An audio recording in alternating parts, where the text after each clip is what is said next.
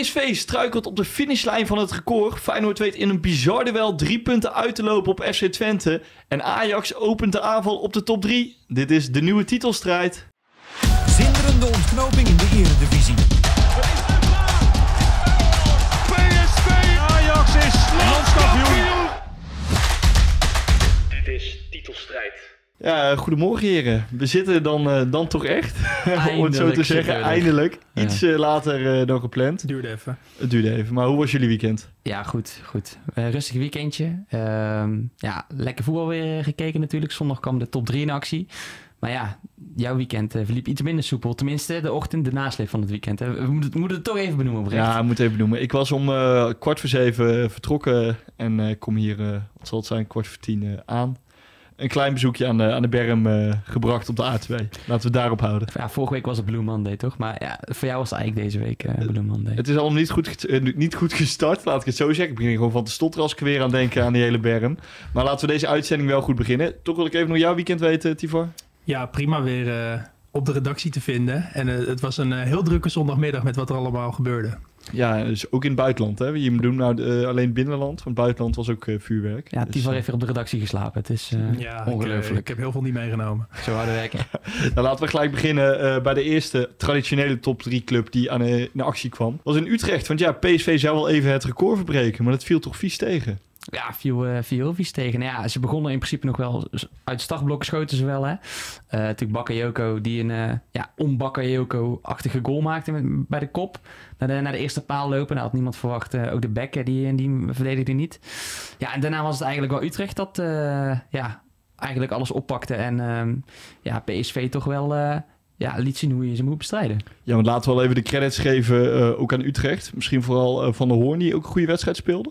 Ja, maar er was eigenlijk helemaal niemand die, eh, die slecht speelde. Fraulo was ook echt fantastisch bezig. En eh, het was denk ik wel de beste wedstrijd van het seizoen voor Utrecht. En PSV had er vooral in de tweede helft gewoon geen antwoord op. En daar moet je ook complimenten voor geven. Zeker, ja. Ajax natuurlijk ook goed van Utrecht. Maar nu, ja, Flamingo stond op het middenveld. Nou, pakte goed uit.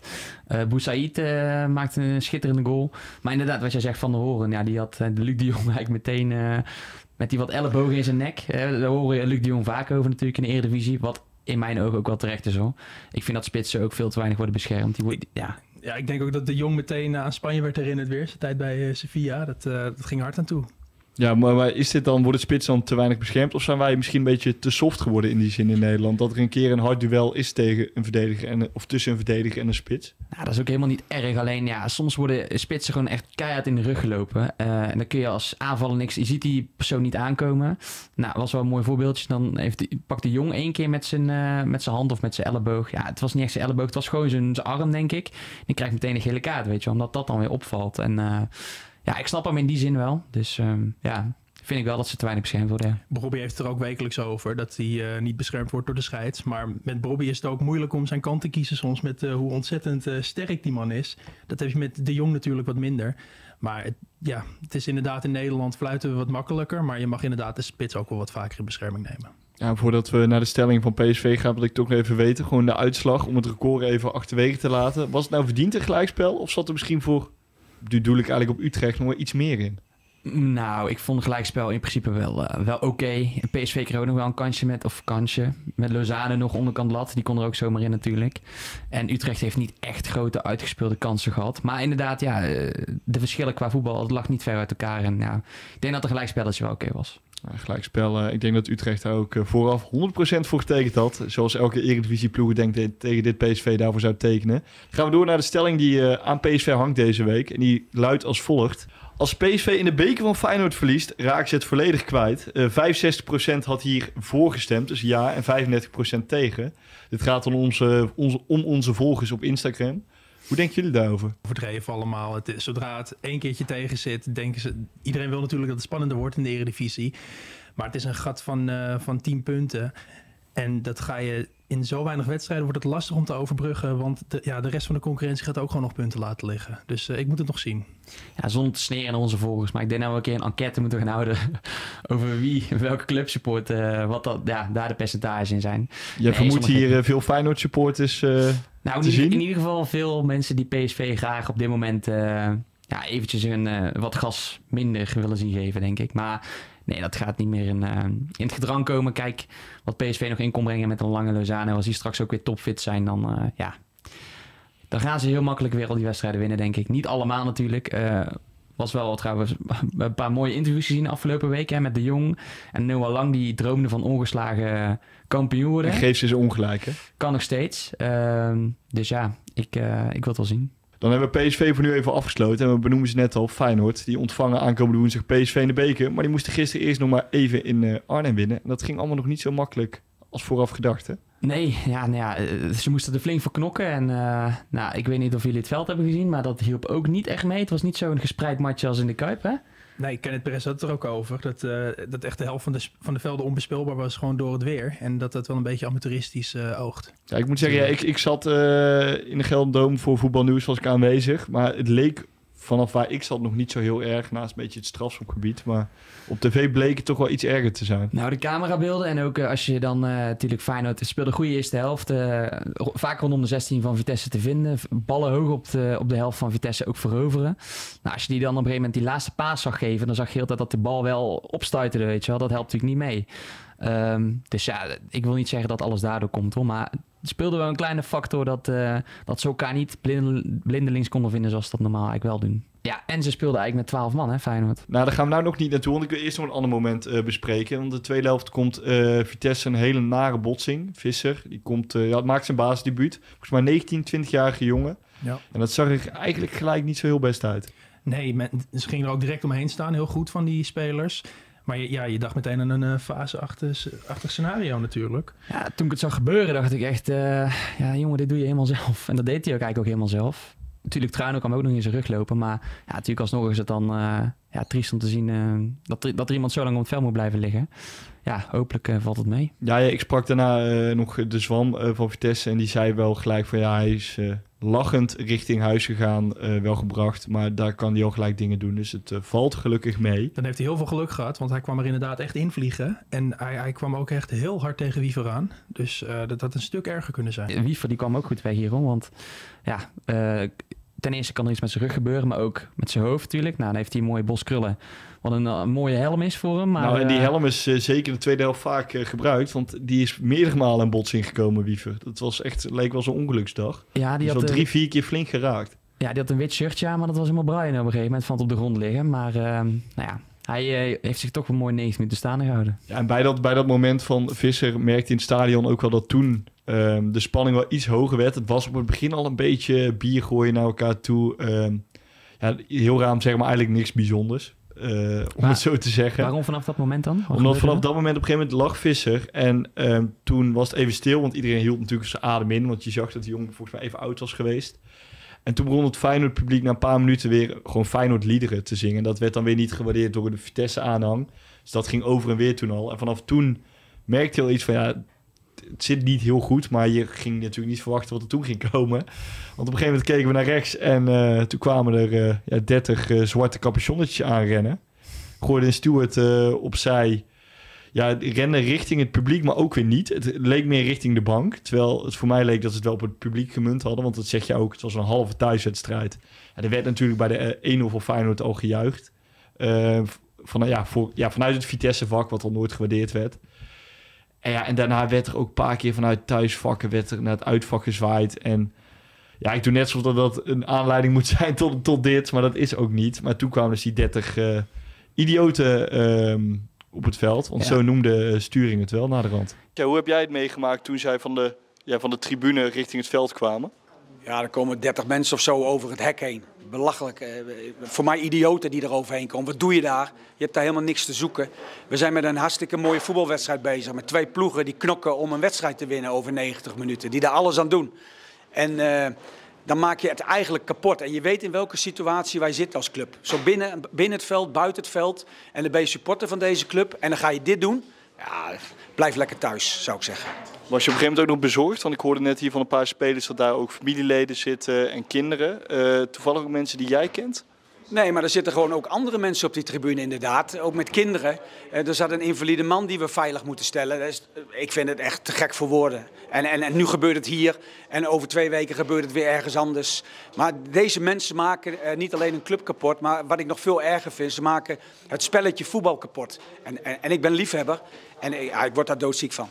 Nou ja, Sturing eh, was daarin dus eh, aardig eh, duidelijk. En die was er ook volledig klaar mee naar de rand. Laten we nou eens snel over voetbal hebben, denk ik. Laten we over voetbal hebben, want uiteindelijk wint Feyenoord die wedstrijd met eh 2-1. Want Linger komt erin. Hebben we ook gelijke stelling over meegenomen trouwens. De stelling is als volgt. Eh, Feyenoord moet tegen PSV met Linger in de basis starten. Nou, dat is bijna 50-50 geworden. Van 51% zegt ja en eh 49% zegt nee.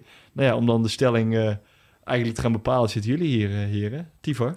Ik, ik wil hem wel een keer gewoon 90 minuten zien eigenlijk. Want hij heeft een paar keer ingevallen en eh, heeft hij ook eh, een paar keer een doelpuntje meegepikt. Hij is ook uh, bloedfanatiek als je ziet hoe hij juicht. Dat is echt... eh, dat is geen broodvoetballer volgens mij. En ja, Feyenoord is nog op alle fronten actief. Dus Slot kan ook gewoon een keertje een mannetje wisselen op het middenveld.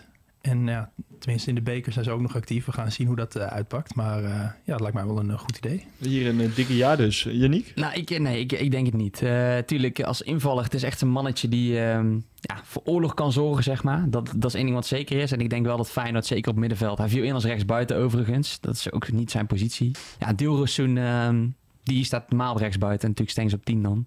Ja, ik zou die allebei tegen PSV ook wel opstellen voor de creativiteit. We hadden Dilrosun, gaf ook weer een mooie bal op Jiménez, eh stuurde die weer weg. Ehm, deed hij veel te weinig mee. In Jiménez viel trouwens overigens heel erg tegen, maar... Die hoeven we ook een keer een week niet te bespreken. eh, dat kan ook.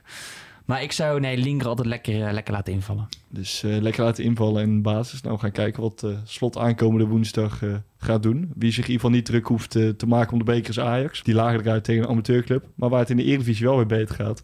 Want ze winnen met 4-1 eh, van RKC. Toch ging dat nog niet helemaal zoals je misschien normaal van Ajax-RKC verwacht. Nee, het is natuurlijk eh, heel erg geflatteerde uitslag eigenlijk. Want Ajax speelde niet heel veel klaar. En het was gewoon, eh, dat zei Fase ook na afloop, gewoon een heel efficiënte ploeg. Ze hadden niet heel veel kansen nodig om tot die vier goals te komen. Wel een mooie treffer van, eh, van Berghuis trouwens. Die schiet hem eh, heerlijk binnen op het einde. En ja, weer een masterclass van Bobby eigenlijk. Die heel goed zijn lichaam gebruikt en mooi wegdraait ook. Ook weer een mooie draaide goal, hè? Ja. Die tweede was, was weer top. En ja, we zeggen het wel, misschien niet al te hoog staan, maar ze winnen toch wel weer mooi met, met 4-1. Hè? Het had zo 5-1 kunnen zijn als natuurlijk uh, Brobbe die penalty maakt. Natuurlijk krijgt de ex ook nog wel wat kansen, maar ja, ik denk eh, dat eh, op dit moment eh, zijn de punten en de resultaten alles wat telt voor Ajax. Ja, voordat we naar, die, naar de ranglijst zelf gaan kijken, dan nog even de goal van RKC. Wat was dat voor, eh, voor een goal? Eh, Ja, dat is. eh Michiel Kramer moet en zal altijd scoren tegen Ajax. Eh, het maakt niet uit op welke manier. Maar dit was verdedigend toch wel echt eh comedy Gingen jullie capers. vroeger op de camps ook altijd naar het Luna Park of niet? Nee. oh, waar, waar al die... Waar al eh, die trappen ja, al die- en eh, glijden en noem maar op en doe maar, ja, ja alles eh, waarover je kan vallen. Nou, dat was ook in de 16 van Ajax het geval, of in de 16 van RKC het ge- ja, geval. Ja. zes- nee, het is zes van Ajax. Je, Ja, zei, wel. je zei het Ja, goed, ja, je zei het goed. Ja. Ja, en toch scoort hij weer. Je wilt bijna zeggen, hoe is dat zeggen, de, de dekselse Kramer. En na de rand sprak Daan hem ook, want die was daar aanwezig voor voetbalnieuws. Toen zei Kramer het volgende over het Ajax-publiek. En eh, bij je wissel dan ook nog een eh, flink fluitconcert. Eh, doet dat dan nog iets met je? Of, eh? Nee, helemaal niet. Want eh, uiteindelijk eh, merk ik ook wel dat op het moment dat, het, dat ze voorstaan hier, dat het allemaal wel, wel luidruchtig is. Maar volgens mij heb ik eh, een half uur lang heb ik niemand gehoord na de 1-1. Dus eh, wat dat betreft, eh, iedere club is anders zou je maar zeggen dan. Hè? Nou ja, eigenlijk eh des Kramers eh, stond hij Daan te woord en hij was duidelijk over het Ajax-publiek. Misschien helpt het ook niet helemaal dat hij soms bij Rijnmond zit en eh, zijn clubvoorkeur heeft uitgesproken, toch? Nou, dat doet hij altijd. Die, daar steekt hij niet onder stoel of bank in. Eigenlijk elke talkshow waar hij in zit, ook bij Vandaag is Site en eh, Veronica of Site, noem ze maar op. Hij eh, ja, komt er wel duidelijk voor uit dat hij nog steeds een eh, voorkeur voor Feyenoord heeft. Ja, en het is misschien ook wel mooi om zo iemand in de voetballerij te hebben die het gewoon durft Ja, te joh, zeggen. mooie gozer. Ja, dan gaan we door naar de stelling die bij, die bij Ajax hoort. En de stelling die, die is als volgt. Ajax moet na Henderson ook nog een ervaren verdediger halen. Eh 86% zegt ja. Dus eigenlijk waarom niet? Meer denk ik dan. En 14% eh, zegt nee. Dan ben ik niet alleen benieuwd of jullie dat zouden doen, maar ook eh, wie jullie dan eh, zouden halen. Ja, als het kan, zou ik het altijd doen, inderdaad. Ik weet niet of het nou in het budget past. Maar als het zou passen, dan eh, ja, zou ik zeker nog wel proberen een centraal of tenminste een ervaren verdediger te halen. Nou, als je dan alle posities een beetje afgaat. Natuurlijk, op de linksback is het nog een beetje moi. Maar dan heb je al wel een Sosa gehaald voor 12 miljoen. En eh Marta, die toch wel een stormachtige ontwikkeling maakt. Ehm, centraal zou ik het nog wel laten met een Hato en Sutelo. Dat is denk ik wel... Ja, iedereen schrijft Sutelo wel een beetje af, maar... Ja, ik denk dat dat nog steeds wel een, eh, een topspeler kan worden. Zeker als Hato misschien straks voetballend wat meer eh, op zijn schouders neemt. Ja, en dan kom je op rechtsback. Ja, dat vind ik eigenlijk wel... eh, natuurlijk speelde Rens speelde natuurlijk afgelopen weekend centraal. Maar ik vind Rens op rechtsback ook geen, eh, geen voltreffer. Zeker niet, zeker niet als hij eerste keuze is. Dus als je dan iemand zou halen, zou ik iemand halen op rechtsback... die ook een beetje teruggetrokken kan spelen. Zodat je zo'n Sosa of Marta maar kan laten gaan op links. Hij heeft er al even thuis goed over nagedacht, over de tactische eh, inzichten. Ik voel Ja. een lijstje aan van spelers aankomen. Ja, nee, ik heb al een paar eh, ja, interessante gasten op het, eh, op het oog... die, eh die in bezit zijn van een aflopend contract... en denk ook wel wat affiniteit met Ajax zouden kunnen hebben. Kom je uit bij een Tete van Fulham... Natuurlijk in de Premier League eh, oh, staat wel bekend als een opkomende back, maar die kan ook zeker eh ja, verdedigingsmannetje staan. Hebben Fosu Mensen bij Leverkusen. Nou, die zal natuurlijk dit seizoen wel, eh, wel onderdeel willen blijven van het succes wat eraan zit te komen voor Leverkusen. Want we komen zo meteen nog wel even op in het eh, rondje buitenland. Die ja, staan ruim aan kop in Duitsland. Maar ja, wel een jongen die ooit heeft uitgesproken, ooit Ajax nog te willen terugkeren. Komt natuurlijk uit de jeugd. En er staat ook verdedigend heel erg zijn man. Het is niet echt een opkomende back, maar juist verdedigend. Ja, en bij Dortmund lopen er nog twee rechtsbacks rond die eh, over een afgelopend contract beschikken. De eerste kennen we, dat is Moyer. Die wordt in verband gebracht met Feyenoord. Die is inderdaad in Rotterdam ook eh, al genoemd deze transferperiode. Ja, is wel echt een opkomende back. Dus denk ik voor Ajax op dit moment niet eh, wat ze zoeken. Ehm, en heb je nog Marius Wolf. Dat is een, eh, natuurlijk ook een Duitse rechtsback. Die ook op middenveld kan. Maar die, ja, die heeft best wel veel bij Duitsland ook in de basis gespeeld. De laatste wedstrijden niet. Wil misschien nog met het, EK, met het oog op het EK nog wat ja, minuten maken. Ehm een van die twee zou misschien wel kunnen vertrekken bij Dortmund. Zou je zeggen. Dus ja, waarom niet? Probeer maar. Dan kijk je even naar Tivo. Hè. Heb je toevallig ook eh, je huiswerk gedaan, om het zo te zeggen? Nou, ik vind het een mooi lijstje. En ook helemaal van, eh van Tete. Die, is- die is natuurlijk ook niet eh, zeker van de basisplek daar. En nou, die doet het wel aardig als hij speelt. Alleen die heeft gewoon eh hevige concurrentie. Ehm, ja, ik zou ook het centrum laten zoals hij is. Natuurlijk, ehm Gooier die viel geblesseerd uit. Toen- Soetelo er ook al niet eh, bij kon zijn. En Medic die is al een beetje afgeserveerd, heb ik het idee. Vooral als Gooier eh, de kans krijgt voor Medic. Maar als Soetelo wegvalt, ja, dan heb je wel een klein probleem. Maar ik zou niet in het centrum kijken. Ik zou inderdaad ook op de rechtsback kijken. Want ik vind eh, dat Sosa ook nog wel een mooie ontwikkeling kan maken. Die, die komt ook met zijn voorzetten. David, David Beckham-achtig wordt hij soms genoemd. Is niet altijd zo. Maar ik zou inderdaad op rechtsback kijken. En dan vraag ik me af ehm, hoe Masraoui terug eh, zou, zou passen in het systeem. Die is nu natuurlijk eh, niet aanwezig bij Bayern door de Afrika Cup. Maar die ehm, heeft natuurlijk intern wel wat problemen gehad daar. En Bayern die wil ook eh, Eric Dyer heel graag halen. Dat, dat lijkt wel bijna in kannen en kruiken. Die is er al, toch? Die, Ja, die is al, die is al eh, gepresenteerd. sorry. Trippier, ja, ja, nee, dat klopt, ja. Ja, Nee. Trippier, niet Dyer. Zoveel Engelsmannen tegenwoordig in, eh in München. die, die wil eh, Harry Kane eh, behagen natuurlijk, met, met een half Engels elftal. Maar ehm, ik vraag me af of Mazraoui nog speeltijd krijgt als hij terugkomt van de Afrika Cup, als het allemaal doorgaat. Want je haalt zo'n Trippier ook niet om op de bank te gaan zitten. En ze willen hem ook kopen en Newcastle wil 15 miljoen ervoor volgens mij. Dus dat is geen kattenpis. Ja, mooi, m- mooi eh, als het zou lukken, dan eh, top. Maar Zou de hele, tweede hele, stunt hele zijn. kleine kans dat dat kan. Mag ik nog even eh, snel een naam erin gooien? Ja, tuurlijk. Nicolas Tadiafico. Zou dat, zou dat kunnen? Die eh, heeft nog een seizoen eh, een contract bij Lyon. is natuurlijk al geprobeerd toen eh, door Michelin dat. Maar denk je misschien nu door de status van Lyon dat hij ervoor open zou staan? Er staan 16 natuurlijk, hè, Lyon. Ehm, ja, dat is natuurlijk wel afgeketst de afgelopen zomer. Eh, maar ja, dat kan veel veranderen eh, in een half jaar. En ja, hij zit nou wel een beetje in de periode van ga ik nou nog door? Ga ik, of ja, niet per se met voetballen, maar wil ik eh, hem ergens anders laten zien? Of in het vertrouwde Amsterdam, wat hij al vaak genoeg heeft gezegd dat hij daar graag is. Hij was volgens mij pas nog op vakantie weer zelfs. Ja, gooi maar een lijntje uit. Kijk, Hij was ook kijk een publiekslieveling in Amsterdam. En eh, je zag ook hoeveel het voor hem betekende als Ajax scoorde. Weet je, weet je wat we bij Linger hebben. Maar ja, je, je kan het proberen. Maar, Nog een beetje eh, grinta erbij. Ja. Ja. Zou ik wel zo snel mogelijk afscheid nemen van Sosa. Dat zeker. Nou, we gaan kijken. De stelling was natuurlijk een ervaren verdediger naast, of een ervaren speler naast Henderson. Nou, hebben wij ook iemand gesproken die met Henderson heeft samengevoetbald. Moet ik wel even Daan de credits geven. Daan heeft hem gesproken. Sepp van den Berg. En die zei wel opvallende dingen over Henderson. Ik, ik vind hem aan de bal vind ik hem fantastisch. Hij kan, hij, hij, hij kan dribbelen, hij is snel ook. Ehm natuurlijk vast de trap. Dus ja, ik, ik hoop hem ook aanvallend mooie dingen te zien doen. Maar ik denk bij Ajax op dit moment eh, dat hij dat bij zes is misschien het beste gewoon voor het teambelang kan spelen. Snap wat ik bedoel? Ja. Ehm, ik denk dat hij zelf op 8 misschien dat is een favoriet is, maar ik vind hem op 8 heel goed. Maar ik denk dat hij bij Ajax op, op 6 het meest nodig heeft, laat ik het zo zeggen. Ja, later meer eh, van Sepp van den Berg over eh, Henderson. Leuk dat Daan hem eh, heeft kunnen bereiken dat hij ervoor open stond. Gaan we door naar het buitenland, want we hebben het over Ajax. En een oud Ajax-sheet, of eigenlijk nog een huidig Ajax-sheet, mogen we het nog zeggen, want hij is verhuurd. Owen Wijnald, die deed een bijzonder, bijzonder, ja, hoe noem je het? Gio Wijndal. Gio noemen. ja, nou leuk. Ja, het was een beetje een throwback, hè? Een, eh, een paasje naar de zijkant en hij besluit gewoon eh, die bal erin te rossen. Die van Van Bronckhorst was natuurlijk wel mooier.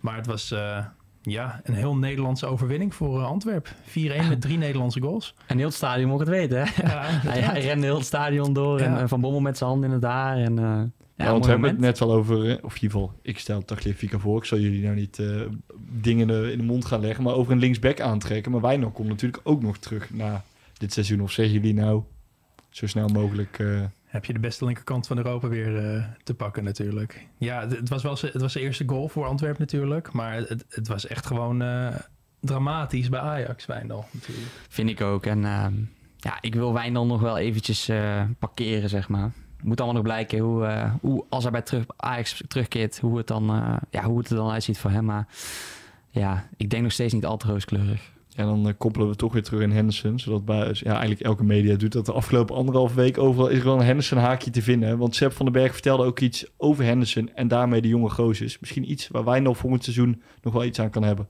Eh Pasveer kwam van de week met teksten dat, dat eh, bij Ajax momenteel niet echt fanatiek in de, in de gym wordt getraind. Hoe zit dat bij Henderson? Is hij echt eh, ook heel erg fanatiek eh, buiten trainingen om in de gym? En neemt hij ook echt gasten mee daarin? Ja, hij is wel een professional. Een echte professional. Ik zeg, hij wordt natuurlijk wat ouder. En ja, zeker ook, ook nou ja, dat, dus die zomer, ehm voordat ik naar Schalke ging, ehm, ja, weet je, hij, hij is gewoon topfit. Maar Ja. echt top, topfit, weet je wel. Eh, zeker op Premier League niveau moet je dat ook zijn. Eh, en dat is hij. En ik geloof dat hij dat nog steeds is. Ehm, en meer wat ik ook had toen ik daar kwam, weet je wel. Je komt gewoon naar, eh, ik kwam daarheen voor Pek Zwolle natuurlijk. En ja, als je dan jongens zoals hem, ja, en ik had dan Salah, Mane, die ook echt, nou, dat is echt abnormaal. Die waren echt, eh, nou, die sliepen daar bijna, weet je wel. en als jonge jongen, ik weet niet, ik, ik, mijn karakter, ik ging daar gewoon in mee. Weet je, hij, hij- bij mij, ik, ik vind dat hij niet deed iets hoeft te zeggen, maar als je hem gewoon zitten als eerste, en jij komt, eh, nou, je komt elke dag laat aankakken, je ziet dat hij er elke ochtend al is, eh, al dik een half uur is. Ja. Ja, dat, dat, dat laat wel een indruk achter en dat neemt automatisch, naar mijn mening, gewoon jongens mee, weet je wel. Precies, dan voel je je bijna schuldig eigenlijk dat je, dat je niet... niet Ja, zeker, zeker. Wat ik zeg, zeker toen ik er ook kwam, weet je, dat, soort jongens met zo'n naam al, al, al in, de, gym zitten en je weet wat zij ervoor doen.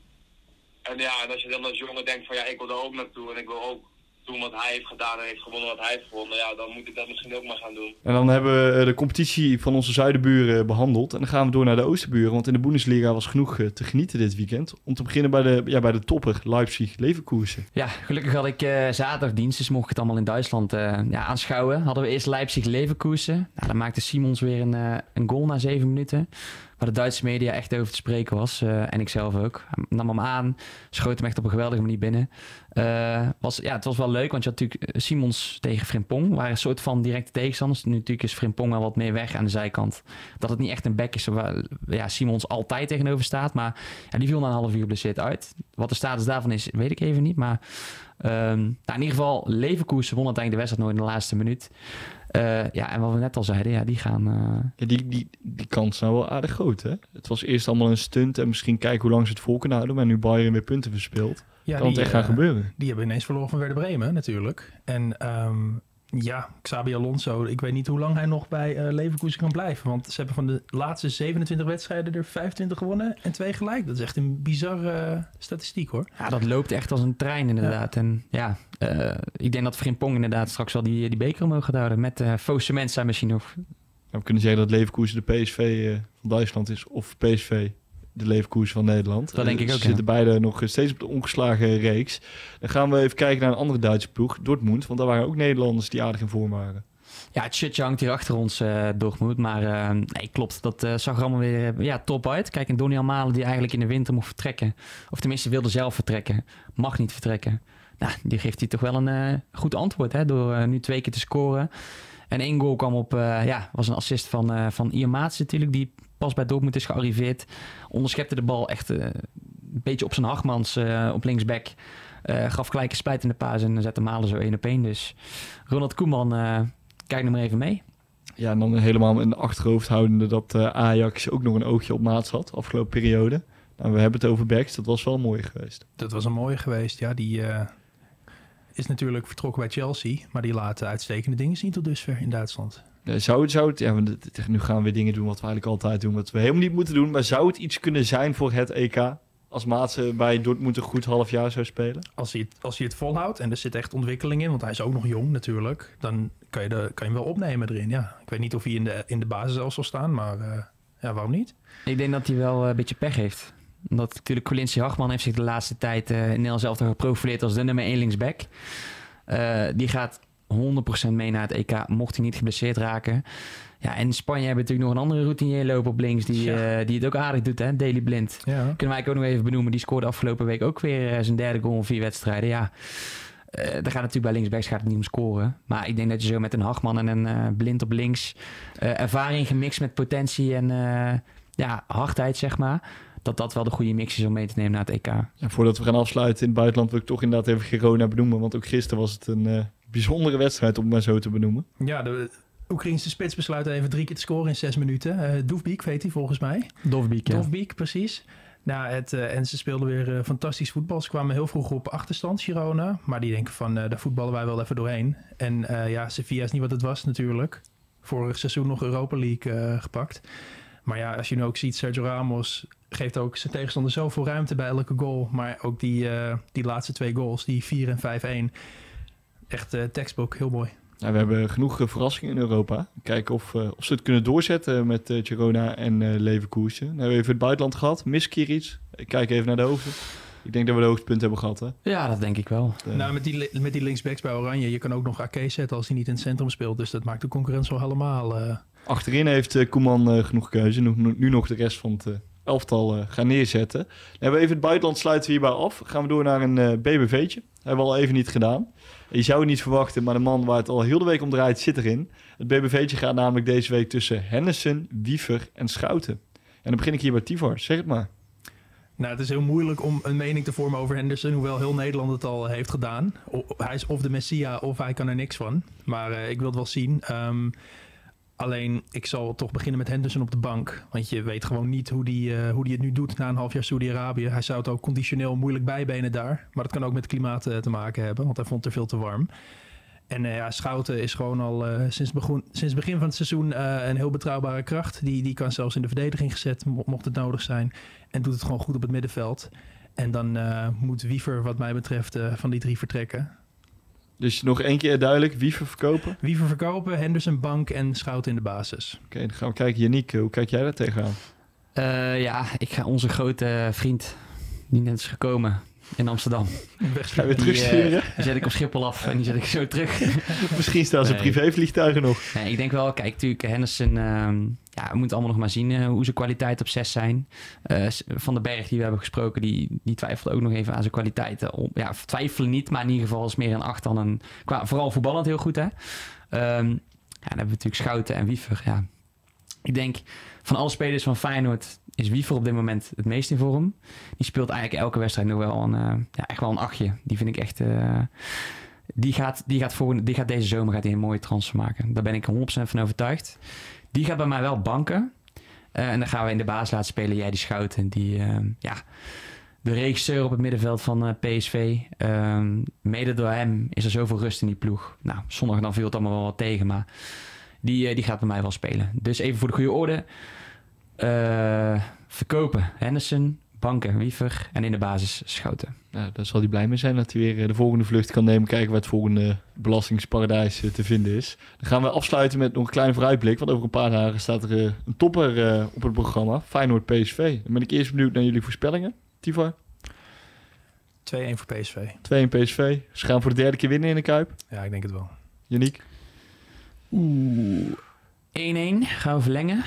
En dan eh, wint Feyenoord naar strafschoppen. En dan eh, ontploft de Kuip eh, omdat ze het PSV... eh, Die van hem is wel leuker. hebben. Het, het zou Ja. wel leuker zijn eh, voor de neutrale kijker. Ja. Ehm, ja, wat moet PSV eigenlijk anders gaan doen? Want ze hebben het nou al twee keer. Moeten ze gewoon doorzetten naar, naar Utrecht. eh, de lijn doorzetten wat ze eigenlijk al hadden gedaan. Of zou je toch nog iets aanpassen naar het eerste puntenverlies? Nou, ik vind wel een beetje scorebordjournalistiek. Want Utrecht had gewoon echt een fantastische dag. En het had ook zomaar kunnen gebeuren dat die bal van Lozano er wel in gaat. En dan win je met 2-1. Alleen Utrecht liet wel zien dat als je gewoon heel dicht op PSV zit... dat je, je kan het ze wel onmogelijk maken om het spel te maken. Dus misschien dat andere teams daar nog eh, van afkijken. Dus dan hebben we eigenlijk gelijk ook de, de, de vraag omgedraaid. Wat kan eh, Feyenoord het beste doen om dit keer wel van PSV te winnen? Ja, wat ze precies kunnen doen, eh, helaas ben ik geen Anne Slot. Ehm, maar ik denk wel dat Slot, die staat wel bekend dat hij bepaalde foefjes kan, eh, kan toepassen. Er komt er ook eens bij kijken dat dit eigenlijk een beetje de laatste... Ja, je hebt natuurlijk de Europa League ook nog, maar die gaat Feyenoord never nooit winnen. Dat eh, durf ik al wel te zeggen. Maar ja, de beker, dat zou toch wel een, eh, ja, toch nog een klein beetje zilverwerk eh, dit seizoen binnen te slepen. Denk ik dat Feyenoord er alles op alles gaat zetten in de Kuip. Natuurlijk hebben we al gezien dat PSV twee keer heeft gewonnen in de Kuip dit seizoen. Maar ehm, ik denk toch wel ehm, dat het ze met heel veel pijn en moeite nu wel gaat lukken om PSV te verslaan. En dan wordt PSV gewoon kampioen. Dat gaat gebeuren.